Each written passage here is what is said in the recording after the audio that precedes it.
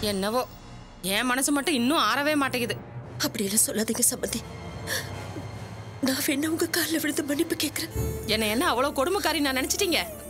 ஒரு அப்பாவி மேல திருட்டுப்பட்ட கட்டினா அது எவ்வளவு பெரிய அவமானம்? அந்த அவமானம் தான் எனக்கும். சரி திரும்பவும் இப்படி ஒரு அவமானம் வராதுன்னு என்ன நிச்சயம் சுந்தரி? டேய் சொல்லுடா. இனிமே இப்படி நடக்காதுன்னு சொல்லு. இனிமே கண்டிப்பா இப்படி நடக்காது. இன்னும் மன்னிச்சிருங்க. வாங்க போலாம். ம் அதெல்லாம் சரிதான். படிக்கிற புள்ள உனக்கு ஏது அவ்வளவு பணம்? வந்து அது அது அவனோட ஃப்ரெண்டு யாரோ கொடுத்து வச்சிருந்தாங்களா? அதான் அப்ப வாங்க நம்ம போலாமே. போலாம் போலாம். அசிங்கப்பட்டது நாங்க ரெண்டு பேர் மட்டுமா? தோ நிக்கிறாளே என் பொண்ணு கூட தான்.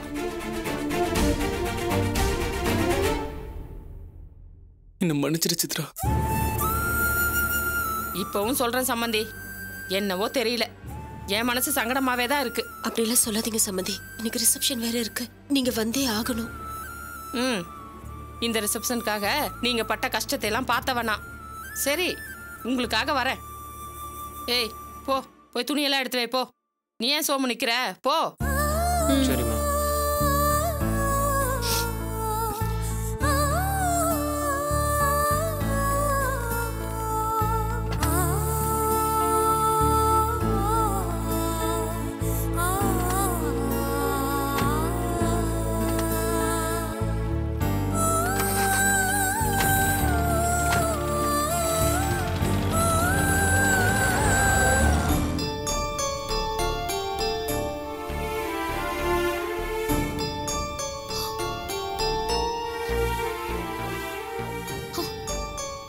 நடராஜோட பணம் இருந்தா என்ன இல்லாம போனா எனக்கு என்ன?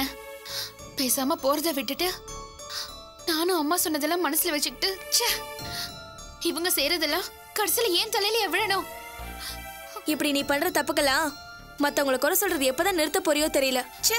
ஆமாண்டி இந்த வீட்ல எது நடந்தாலும் அதுக்கு நான் தான் காரணம். இப்ப சந்தோஷமா உனக்கு? நாலு எழுத்து படிச்சுட்டா பெரிய புத்திசாலின்னு நினைப்பு.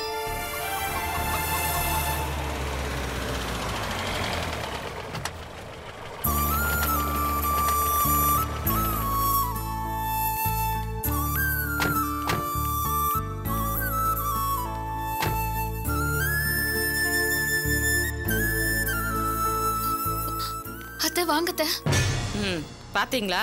திருட்டு பட்டம் கட்டி துரத்தி விட்டுட்டு எதுவுமே நடக்காத மாதிரி வரவே இருக்கிறத எப்பேற்பட்ட பாவத்தை பண்ணிட்டு கொஞ்சம் கூட வருத்தமே இல்லாம நிக்கிறா உங்க பொண்ணு.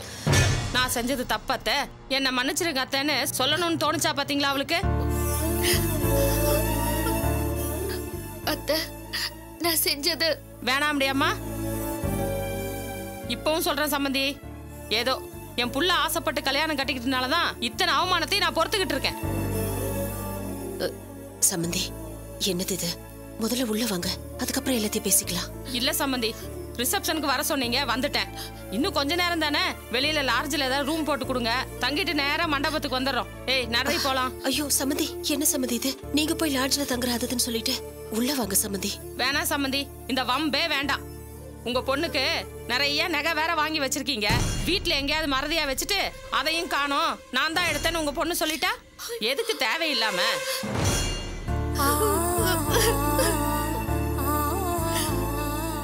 மதி என்ன மதி இது? பேசாம நின்று இருந்தா எப்படி? போ அத்தை கிட்ட மன்னிப்பு கேட்டவங்கள உள்ள கூட்டு போ. போ. போ. அத்தை என்ன மன்னிச்சிருங்க அத்தை. ஏதோ புத்தி கட்டு போய் பண்ணிட்டேன். இனிமே அப்படிலாம் எதுவும் நடக்காது. உள்ள வாங்க அத்தை.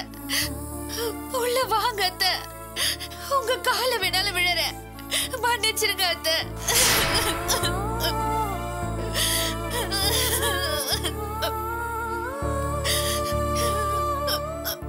ஷோ சரி சரி. ஏந்திரி ஏந்திரி. ஏந்திரிமா இதுக்கு தான் சொல்றது. எதையும் செய்யறதுக்கு முன்னாடி யோசனை பண்ணணும்னு. இதுவே நான் பார்த்து செஞ்சு வச்ச கல்யாணமா இருந்தா இப்படியெல்லாம் நடந்திருக்குமா? என்ன செய்யறது? இதெல்லாம் அனுபவிக்கணும்னு என் தலையில எழுதி வச்சிருக்கு. யாரால மாத்த முடியும்? ஏ வாடி உள்ள போலாம். வாங்க சம்மந்தி உள்ள வாங்க. எனக்கு என்ன மன்னிச்சிருங்க. தெரியாம பண்ணிட்டேன்.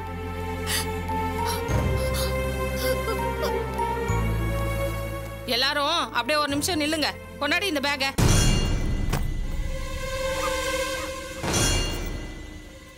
எல்லாரும் இப்பவே பாத்துக்கோங்க. இப்ப எது கொண்டு வந்திருக்கிறோமோ அதைத்தான் திரும்ப போகும்போது எடுத்துட்டு போவோம். அதிகமா ஒரு குண்டூசி எடுத்துட்டு போனா கூட எல்லாரும் சேர்ந்து எங்களை செருப்பால் அடிங்க. டேய் நீ என்ன நின்னுட்டு இருக்க உன் பையன் கொடு. அதுலயும் என்ன இருக்குன்னு காமி. நம்மளுக்கு எதுக்கு வீண் வம்பு? பட்ட அவமானமெல்லாம் போதும். சொந்த பந்தம்னு சொல்லிக்கிட்டு இனிமே அடுத்தவங்க வீட்டுக்கு போறத முதல்ல நிறுத்திட வேண்டியதுதான். என்ன சம்மந்தி இது? அதான் என் பொண்ணு அவ பண்ண தப்ப ஒத்துக்கிட்டாளே. அவ உங்க காலில் விழுந்து கூட மன்னிப்பு கேட்டுட்டாளே. இன்னும் நீங்க அதையே நினைச்சு வருத்தப்பட்டுட்டு இருந்தா எப்படி சம்மந்தி?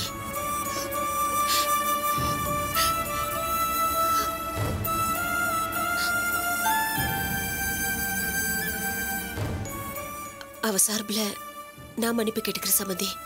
தயவு செஞ்சு எல்லாத்தையும் மறந்துட்டு மதியம் ஏத்துக்கோங்க சம்மந்தி. நீங்க என்னதான் சொன்னாலும் என் மேல விழுந்த பழைய நினைக்கும் போது நெஞ்செல்லாம் அப்படியே பத்திக்கிட்டு எரியற மாதிரி இருக்கு.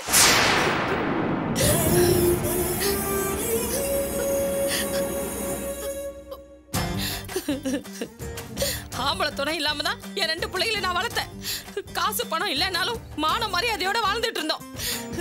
இத்தனை வருஷத்துல இந்த பாஞ்சாலிய விரல் நீட்டி யாராவது ஒரு தப்பு சொல்லியிருப்பாங்களா? நான் சொல்றதுல நம்பிக்கை இல்லைன்னா ஊர்ல வந்து கேட்டு பாருங்க சொல்லுவாங்க. இந்த பாஞ்சாலி எவ்வளவு பெரிய மானஸ்தீன்னு சத்தியமா சொல்றேன் சம்பந்தி. இன்னும் நான் எப்படி உயிரோட இருக்கேன்னு எனக்கே தெரியல சம்பந்தி. புரியுது சம்மந்தி உங்க மனசு படுற பாடு எனக்கு நல்லாவே புரியுது. நான் உங்களை எப்படி சமாதானப்படுத்துறதுன்னு தெரியல.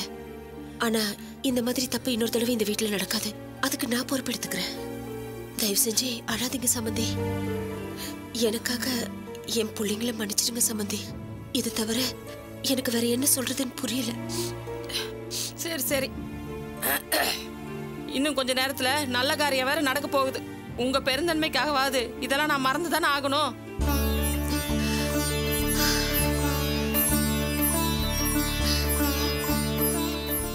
என்ன பண்றது? மதி. போய் காப்பி தண்ணி கொண்டா. தொண்டை அப்படியே வறண்டு போய் கிடக்கு. போ. போமதி இதோ இப்ப போட்டு கொண்டு வரேன். சீக்கிரம் போ. நீங்க ஏன் நின்று இருக்கீங்க அதான் சம்மந்தி சொல்லிட்டாங்களே பேக் எடுத்துட்டு உள்ள போங்க.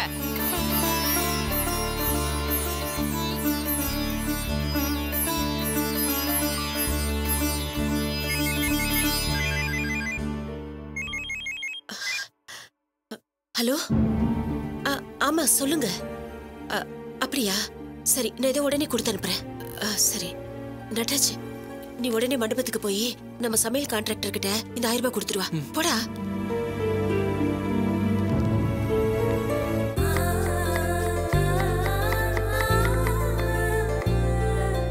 ஹலோ பழனி. ஒரு பத்து லிட்டர் பால் மண்டபத்துக்கு சீக்கிரமா அனுப்பிச்சு வைக்கிறியா? சீக்கிரமா அனுப்பிச்சு வச்சிரு. அப்புறம் நாளைக்கு காலையில அந்த பார்ட்டியை பார்த்து பேசணும். கரெக்டா வீட்டுக்கு வந்து சேரு. அண்ணா அண்ணா வணக்கண்ணே. ஆ வாங்க தம்பி. அம்மா கிட்ட ஆயிரம் ரூபாய் கேட்டு வந்தீங்களா அதான் கொடுத்து விட்டாங்க. சரி. இந்தாங்க. பரவாயில்ல சீக்கிரமா கொண்டு வந்துட்டீங்களா? தம்பி டீ காபி ஏதாவது சாப்பிட்றீங்களா? ஐயோ அதெல்லாம் வேணாண்ணே. சாயங்காலம் அஞ்சு மணிக்கு எல்லாருமே வந்துருவாங்க. அவங்களுக்கு டிஃபன் காஃபிலாம் எல்லாம் பெர்ஃபெக்ட்டா ரெடியா இருக்கு. நீங்க கவலையே படாதீங்க. சரிங்க. போன வாட்டியே கவனிக்கிறேன்னு சொல்லிட்டு கவனிக்காம போயிட்டீங்கண்ணா. இந்த வாட்டியாவது ஏதாவது பார்த்து கொடுத்துருப்பாங்க நீ வேலையை முடிச்சிட்டு போகும்போது என்ன பார்த்துட்டு போகணும்னு சொன்னேன்ல. நீ பாட்டுக்கு போயிட்ட அதுக்கு நான் என்ன பண்றது? சரி இன்னைக்கு வேலையை முடிச்சிட்டு போகும்போது என்ன பார்த்துட்டு போ. அண்ணே அப்படியே அந்த விசேஷக்காரங்க கிட்டயே சொல்லிட்டு போங்கண்ணே. எங்களை தான் லாஸ்ட்ல கவனிக்காம போயிடுறாங்கண்ணே. அப்படியா? தம்பியை கெட்டியா பிடிச்சிக்க. தம்பி விட்டு விசேஷம்தான். பொண்ணோட தம்பி.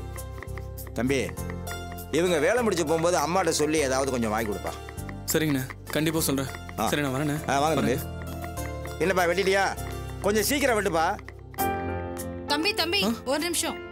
தம்பி உங்களுக்கு ஏதாவது வேணும்னா என்கிட்ட சொல்லுங்க தம்பி. நான் இங்கே தான் இருப்பேன் இந்த மாதிரி ஏதாவது விசேஷம் நடந்தா தான் எங்களுக்கு வருமானம். மாச வருமானத்தை நம்பி பொழப்ப ஓட்ட முடியாது. சரிங்க கண்டிப்பா அதை கொடுக்க சொல்றேங்க. சரிங்க தம்பி.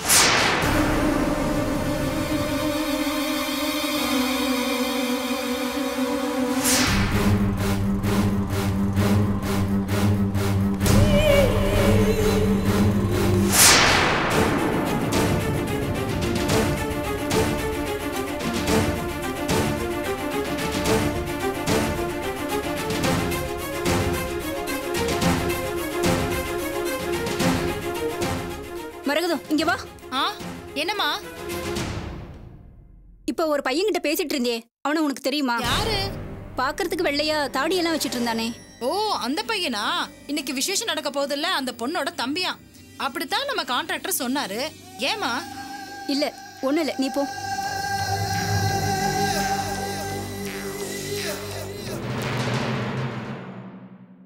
ஹலோ இன்ஸ்பெக்டர் சாருங்களா? நான் கவிதா பேசுகிறேன் இந்த சைனா அறுத்துட்டாங்கன்னு கம்ப்ளைண்ட் கொடுத்தேன்ல சார் இன்னைக்கு காலையில் கூட உங்களை வந்து பார்த்தேனே சார் சார் செயினை பறிச்சுட்டு போனவனு இப்போ தான் சார் பார்த்தேன். ஆமாம் சார் மாநகராட்சி கல்யாண மண்டபத்தில் தான் சார் இன்னைக்கு அவங்க வீட்டு விசேஷம் தான் சார் இல்லை சார் அவன் என்ன பார்க்கல. இன்னைக்கு ஈவினிங் தான் சார் ஃபங்க்ஷன் ஓகே சார் கண்டிப்பாக வந்துருங்க சார்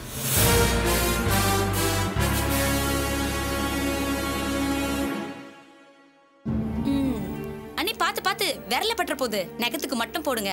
இன்னைக்கு உங்க ரிசப்ஷன்ல நான் போடுற Dress மேக்கப் எல்லாத்தையும் பார்த்து வர்றவங்க அப்படியே அசந்து போய் நிக்கணும். ரொம்ப முக்கியம். நேத்து உங்க அண்ணி குழச்சிட்டு பூசினாலே கறி. அந்த முகத்தோட போய் நில்லு. பாக்குறவங்க காரி துப்ப இன்னும் வசதியா இருக்கும். பாரு என் பொழப்ப. இம்பிட்டு பேச்சையும் வாங்கிட்டு மானம் கெட்டு போய் உட்கார்ந்துட்டு இருக்கேனே. நான் உன்னை என்ன சொல்லிமா கூட்டிட்டு வந்தேன்? ஆ? ஏதோ தெரியாம ஒரு தப்பு நடந்து போச்சு. அதான் அத்தை நேர்ல வந்து உன்னை பார்த்து சமாதானப்படுத்திட்டாங்கல்லம்மா. அதை பத்தி பேசாதன்னா பேசாம இருக்க மாட்டியாம்மா? சும்மா நோய் நோய் நோய் நோய் நோய்னு. ஏன் பேசலப்பா. அப்பா சாமி நான் பேசல. என் மனசு பட்ட வேதனைக்கு நான் பேசி ஆறுதல் பட்டுக்கிறது கூட தப்பா? நான் பேசலப்பா. வாயை மூடிக்கிறேன்ப்பா. என்னம்மா இது? எதை பேசினாலும் இப்படி குதர்க்கமா பேசினா என்னம்மா பண்றது? டேய் நீ சாதாரணமா சொல்லிட்டடா. ஆனா அது இப்ப நினைச்சாலும் என்னால என்னால இங்க பாருடா கல்லடி பட்டிருந்தாலும் ஏசுநாதர் மாதிரி பொறுத்துட்டு போயிருந்திருப்பேன்டா. ஆனா சொல்லடிப்பட்டு சீரழிஞ்சு நிக்கிறேனே. ப்ளீஸ் அழாதீங்க. நான் ஒரு கூறு இல்லாதவ விசேஷத்தை வச்சுக்கிட்டு விடு இனிமே நான் எதுவும் பேசலப்பா. நீங்களாம் போய் வேலையை பாருங்க போங்க. ஆனா ஒண்ணு இப்ப சொன்னியே அத்தேன்னு.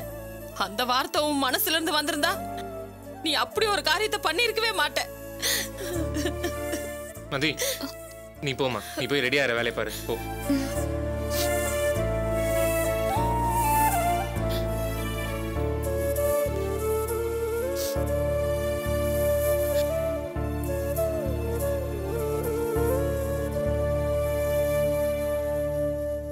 மதி மதி என்னாச்சுமா டேய் அங்க என்னடி பேசிட்டு இருக்காங்க போய் கேட்டு வா போ. போடி.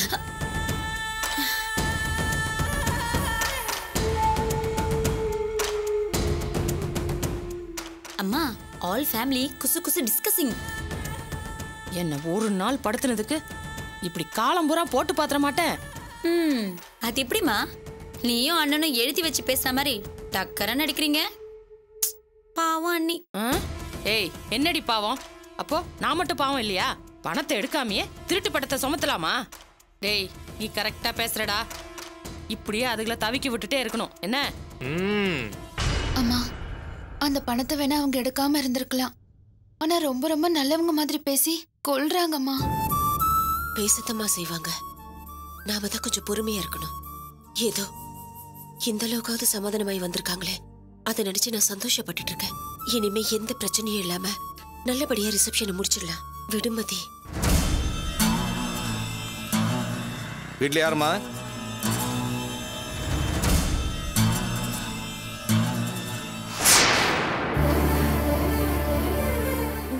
நீங்க எதுக்கு இப்ப இங்க? ஏதோ. ஹலோ? ஆ நான் தான் பேசுகிறேன் இல்லை இல்லை. இப்போ வந்துடும் ஏய் ஏதோ ஆம்பளை குரல் கேக்குது. யாருன்னு போய் பாரு. ம். I don't நோம்மா but he look like cinema villain விளக்கமாறு ஒழுங்கா சொல்றி. தெரியலம்மா பார்க்கறதுக்கு சினிமா வில்லன் மாதிரியே இருக்காரு. அது யாரு வில்ல? நான் இருக்கேல. ம் அதானே. ஒரு உரையில எதுக்கு ரெண்டு கத்தி? கோமா போய் களத்துல இறங்கு.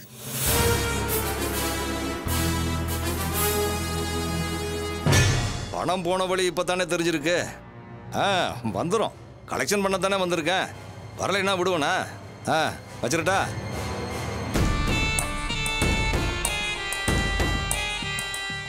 பணத்தை ரோசப்பட்டு கொண்டாந்து கொடுத்தீங்கன்னு கேள்விப்பட்டேன். சந்தோஷம். ஆனால் ஒன்று மட்டும் எனக்கு புரியல. அது என்னன்னா உங்கள் ரோசத்தோட இலக்கணம் தான் என்னன்னு புரியல. பாபு வந்து பணத்தை கொடுக்கும் போதே வேணான்னு சொல்லியிருந்தா நல்லா இருந்திருக்குமே. பாபுவோட அப்பா. இது பாருங்க. தேவையில்லாம பிரச்சனை பண்ணாதீங்க. உங்க பணத்தை நாங்க கேட்கல. உங்க மகனாதான் மதிய ரிசப்ஷன் செலவுக்குன்னு என் பையன் கிட்ட கொடுத்துருக்கான். அது தெரிஞ்ச உடனே கொண்டு வந்து உங்க வீட்லயே வீசி எரிஞ்சிட்டனே. ம். அதுதான் உங்க தன்மானத்தை பாராட்டுன்னு சொல்லிட்டேனே. அப்புறம் என்ன? சரி உங்களுக்கு தெரியல. அது எப்படி ரோசம்னா முழுசாவில் இருக்கணும்? ஐம்பதாயிரத்துக்கு இருபத்தஞ்சாயிரத்தை கொடுத்துட்டு அது என்ன பாதிக்கு பாதி ரோசம்? எனக்கு ஒன்றும் புரியல.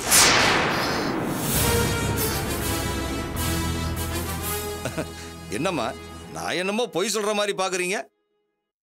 என் மகன் பாப்பு கொடுத்தது சொலைய ஐம்பதாயிரம்.